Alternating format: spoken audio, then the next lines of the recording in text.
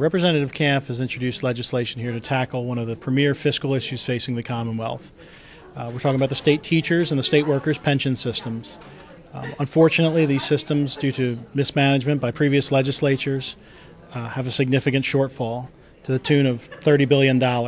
You know, to, to put that in perspective, the entire budget for the Commonwealth this year is going to be in the neighborhood of $27 billion. So we owe more than an entire year's budget to the state teachers and the state workers pension system just to bring them up to solvency. So it's it's a clear issue that has to be addressed uh, here in the legislature, and one that we're going to have to work very hard on to, to find some uh, good solutions to a tough problem.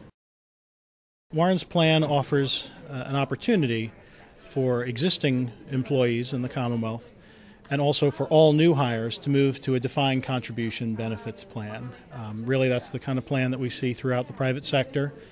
Um, certainly, a plan that I had when I was prior to joining the legislature. Um, you know, as one who's who's declined the state pension, you know, I believe very strongly that you know you have to lead by example. Um, and, and, it's time to move away from these kind of uh, defined benefit plans, which are unaffordable and unsustainable for the taxpayer, so we can move towards a plan that uh, brings more fiscal responsibility to the Commonwealth and also gives people an opportunity to manage their own funds.